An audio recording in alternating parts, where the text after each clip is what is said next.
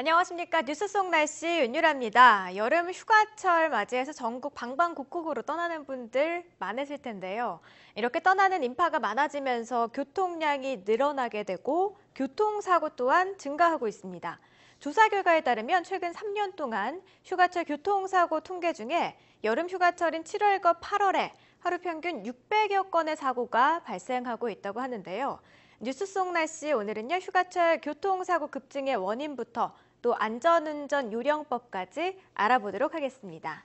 교통안전공단의 조정권 교수 전화로 연결돼 있습니다. 교수님 안녕하십니까? 네, 안녕하십니까. 자, 휴가철 교통사고 평상시보다 얼마나 더 증가하고 있는지요?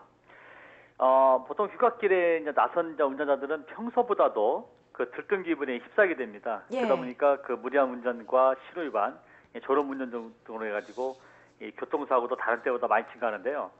2014년도에 7, 8월 달에 월 평균 교통사고는 18,560건입니다. 예. 이것은 1월부터 6월까지 교통사고량보다 7.4%가 증가했고요.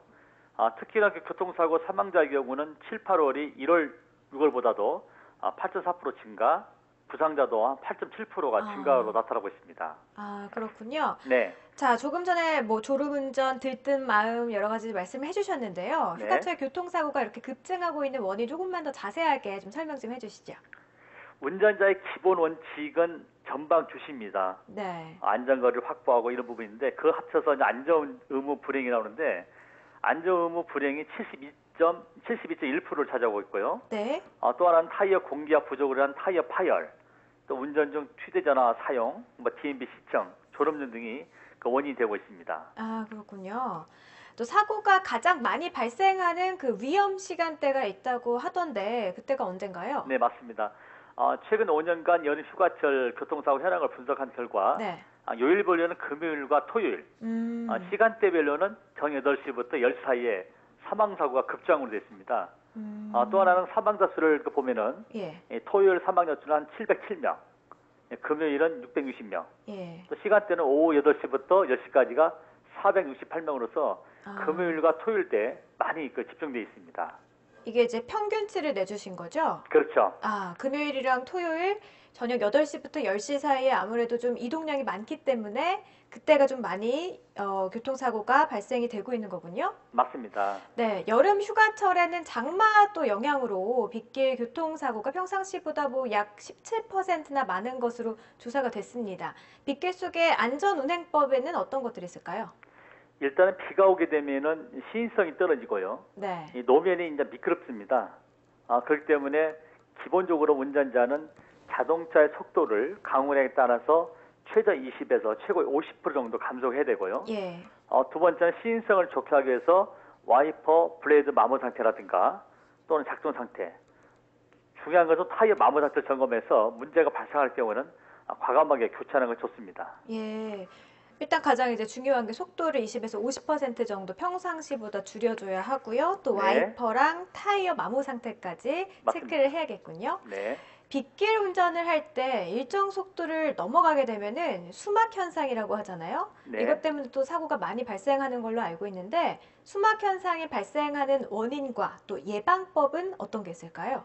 이제 수막 현상이면 일명 수상습 현상이라고 합니다. 네. 어, 자동차가 물이 고인 노면을 고속으로 주행하다 보면은 이 타이어는 물을 배수하는 기능을 감소하게 돼요. 아, 그러다 보면은 그 물의 저항에 의해서 노면으로부터 차가 뜨는 겁니다.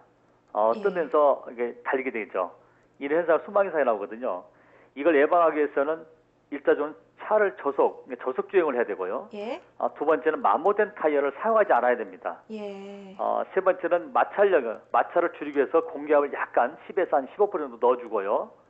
어, 중요한 것은 타이어를 샀을 때 물이 잘 빠지는 게 배수 효과가 좋은 타이어를 게 좋습니다. 음, 어, 역시 비슷한 것 같네요. 저속 주행에 좀 신경을 써야 되고 또 네. 무엇보다도 타이어 점검을 잘 맞습니다. 해야 될 것 같은데요. 그 중에서도 이제 공기압을 평상시보다 줄여야 된다. 예, 예. 아, 높여야 된다는 말씀이시죠? 그렇죠, 맞습니다. 예. 어느 정도 더 높여야 될까요? 어, 보통 그 자동차에는 그 규정된 공기압이 있는데 예. 어, 규정된 공기압보다 10에서 한15% 정도 약간 아. 넣어줍니다.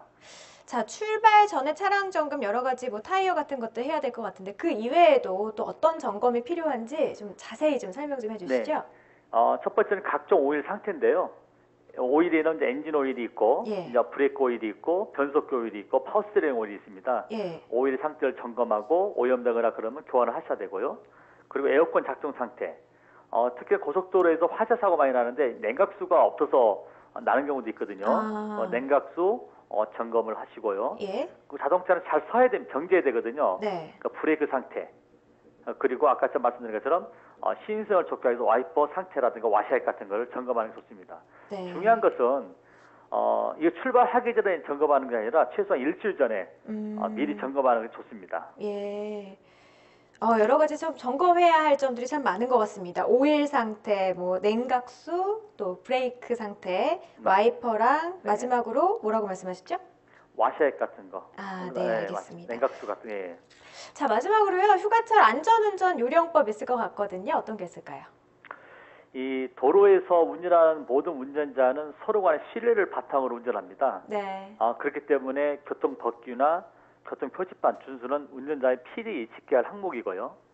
이 빨리 가는 것이 중요한 게 아니라 안전하게 다녀오시는 게 중요하거든요. 예. 어, 출발 전에 자동차 점검을 철저히 하시고 운전 중에는 모든 탑승자는 안전띠를 메고 또 하나는 피곤하시면 무리하게 운전하지 마시고 졸음 쉼자나 휴게소를 들러서 충분한 휴식을 하시게 하고요. 예. 어, 마지막으로 이제 안전운전 실천은 이제 어차피 저희가 생명을 다루기 때문에 어떤 교통사고 없는 대한민국 만들기 위해서는 많은 국민들이 어, 적극적으로 실천을 함으로써 결국은 사고 예방을 할 수 있다 이렇게 보고 있습니다. 음. 네, 알겠습니다. 오늘 휴가철 교통사고 급증 그 원인과 또 예방법에 대해서 알아봤습니다. 조정건 교수님이었습니다. 고맙습니다. 네, 수고하십시오. 자, 지친 일상의 피로를 풀기 위해서 떠나는 여행, 사고와 짜증으로 기억되지 않기 위해서 모두가 혹시 모를 사고에 미리 대처하고 또 주의를 기울여서 안전하고 즐거운 휴가로 마무리하시길 바라겠습니다.